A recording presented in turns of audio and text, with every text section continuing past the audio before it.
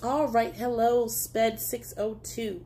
Uh, yes, for my finals discussion, I would like to discuss uh, overall professionalism, uh, professional judgment, and also self reflection. So, for the overall professionalism, one thing that comes to mind uh, is just the way I conduct myself when I'm on the clock and off the clock as a teacher. You know, as a teacher in society, people hold us to a higher standard. That's the same thing with police officers, judges, and then uh, certain other professions. So even when you're on the clock, you know, you have to live by a certain code of ethics. And the same applies even when you're off the clock. I'm reminded of a story where I remember a teacher, she posted something on Facebook where she was just in a bikini and she was holding two things of beer. But, you know, with social media, you have to just be mindful of the way you act and even though you're not in class, you have to be mindful because your students are looking up to you. You know, you're like their second parent. Basically, you are their second parent during those eight hours. So they're looking up to you to make sure that you're walking in the right way. That way, they can follow suit after you. Uh, the second, uh, second thing I would like to discuss is professional judgment.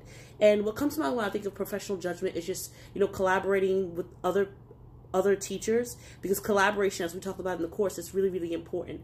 I think collaboration, um, it also, when you're collaborating, you're avoiding competition because teachers shouldn't be comp competing with each other. We're not working on commission. We're working for the betterment of the students to make sure that they're being productive citizens. That's where all, that's our end goal. So I think that teachers working together as a team and everybody, you know, helping each other, uh, I think that's a really, really good thing. One of the best advice that was actually given to me, uh, someone said, don't try to reinvent the wheel meaning, you know, teachers have already paved the way for me. So just take those ideas and use them.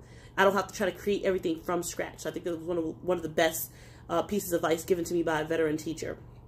And of course, the last uh, pillar I would like to discuss is self-reflection. I think in this profession, we need to always stay up to par about, we need to always stay up to par on, you know, different practices and theories and things that work inside the classroom. And just really, really looking at our practices to see where we can we improve because no one will ever be, you know, the greatest teacher. You know, we just need to sit back and focus on our strengths and also our weaknesses and see how we can actually, you know, polish those areas up a little bit.